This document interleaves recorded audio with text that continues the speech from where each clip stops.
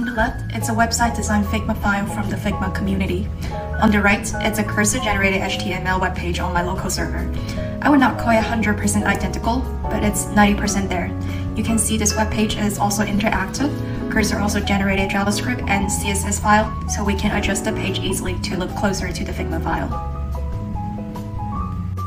Hi everyone, welcome back to my channel. My name is Yilan. Today is an episode of Tech Brew.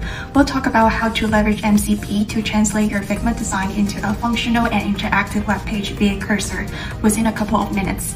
If you're not familiar with MCP, check out this video right here. Without further ado, let's dive into it. First, we need a Figma token so the cursor can access the design file later. Go to your Figma dashboard and in the left corner, click Setting. So your setting window will pop up. Find Security tab at the top, click on it. Go to the Personal Access Token area, then click Create a Token. Let's name it Cursor, then grant the highest accessibility under each scope item. For expiration, I set it to one day for this video's purpose, but you can adjust it based on your own needs. Click Create Token. You can now see that our token has been created. Copy and paste your token into your personal notes for later usage. Next, let's open the cursor application. In the upper right corner, let's click the setting icon. The visual accessibility is really not great here.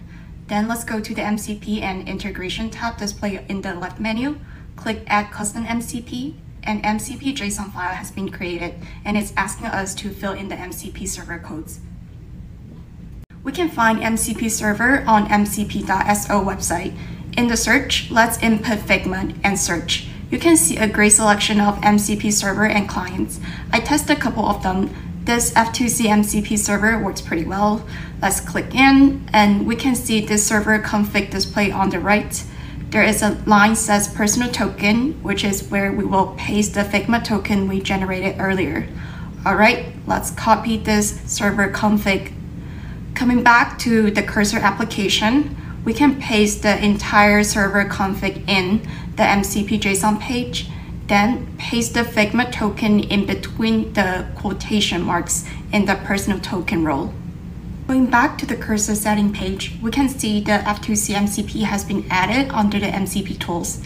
However, the red dot indicates there is an error.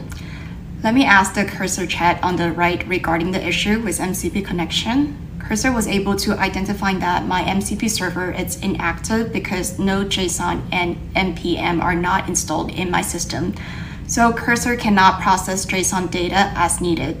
It also provided instruction for installation accordingly. Let's follow the instruction to download the Node.js and install it on my MacBook. Okay, we're set. Let's reopen my cursor, going back to the MCP and integration under the setting we can see how F2C MCP has been enabled with the green dot indicate the active status. Great, the MCP server has been properly connected.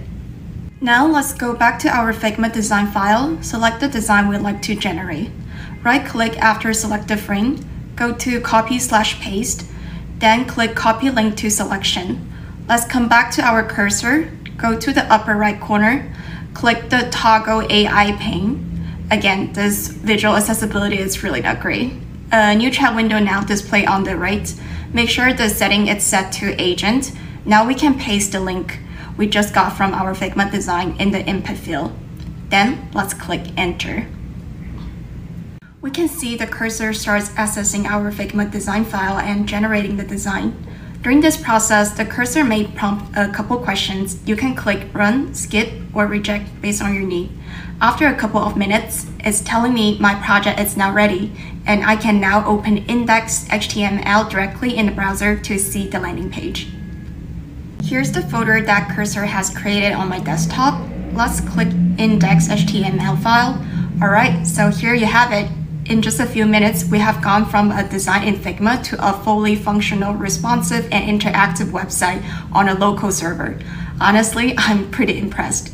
We can also access the JavaScript and CSS file to adjust the web page so it can look identical to our design. This is just a glimpse of how tools like Cursor, Figma, powered by MCP can completely change the way we work. It's not about replacing designer or developer. It's about giving us the power to build, test, and iterate faster than ever before. If you found this video helpful, be sure to give the video a thumbs up, hit that subscribe button for more tech and design tips like this. Thanks for tuning into my channel. I will see you in the next one. Bye!